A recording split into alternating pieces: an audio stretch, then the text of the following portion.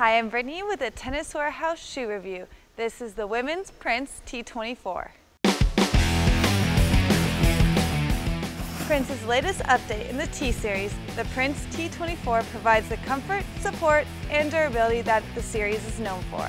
The T24 additionally features a six-month durability guarantee. Let's find out what our playtesters thought. First up we have Carly. Carly, you've now playtested a wide variety of shoes. What were your thoughts on the T24? I really thought it was a tough, durable shoe. I liked um, especially the outsole of it. Uh, there was little wear for me. Uh, there was great coverage on the front of the toe box area, so I didn't have to worry about dragging um, or wearing through that area when dragging my toe.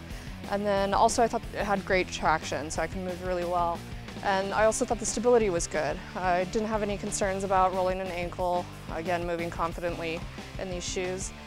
Uh, the, the, downside for me was the stiffness. There was a little bit of a break-in period, and then especially with the plastic piece around uh, the front of the toe, or the toe box area, uh, it was really stiff for me, and I just felt it was really tight no matter how I um, adjusted the shoe. It just always felt tight. I couldn't get it loose.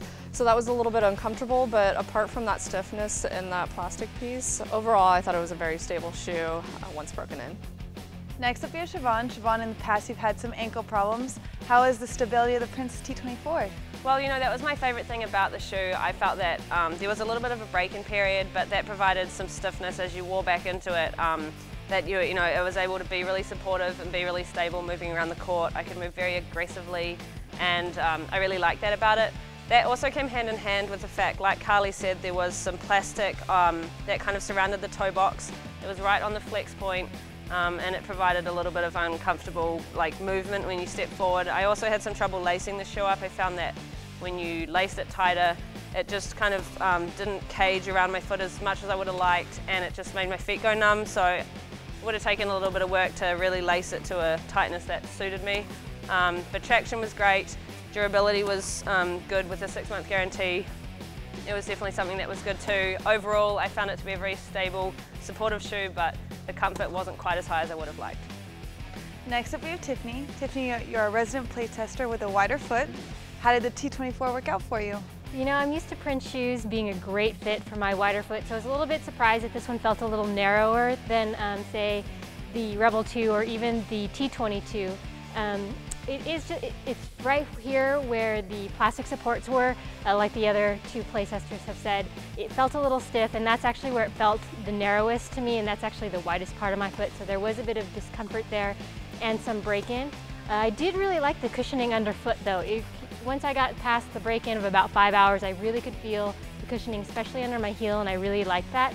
Other positives for the shoe is super durable. I'm a toe dragger, great protection at the toe. I didn't notice any damage at all. You couldn't tell that I'd been playing. And good on the outsole as well. And super stable. No issues there with any chance of a rollover and definitely traction was top notch as well. So after a break-in period and a little bit of a narrow fit for my wider foot, um, over, besides that, I like the shoe. I also play tested this shoe, and first off, I really love the colorway. I'm a big fan of the black with the purple pop.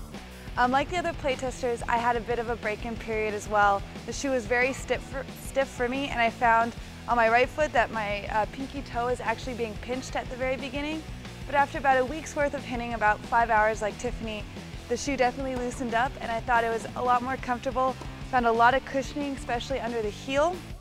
I also found a lot of stability starting with the forefoot straps moving back towards the heel and the ankle. I did find the toe box to be a little bit wider for me and my um, toes were kind of moving back and forth. My least favorite thing about the shoe was the weight. This is probably the heaviest shoe I've ever play tested and it took quite a bit of getting used to and I had to really make an effort to move around on the court.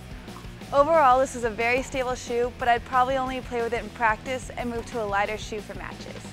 As you heard, our playtesters had mixed reviews when it came to the Prince T24. If you're interested in this shoe, please visit tenniswarehouse.com. Thanks for watching.